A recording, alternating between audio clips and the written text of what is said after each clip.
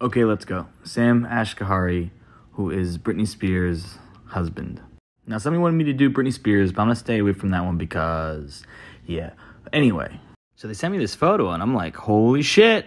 You'd think that shouldn't be bent, right? We got him.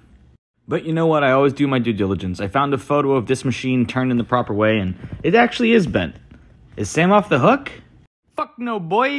Blew it here, man. Yeah, this should be straight. It's not. It's crooked where your bicep is because you pulled it out. And my man's always advertising shit for 1st Phorm. Look at his arm in the back and look at that pole. This is a support beam. Why is it bending? In this one, he literally deleted his lat. Look. You gave away lats for biceps? Come on, bro. Advertising more fitness shit. Look at the windowsill there. You see it? It is completely straight in the following photo. Pathetic. It just blows my mind that these million follower accounts can do this shit so poorly and nobody calls it out or notices it. What the fuck?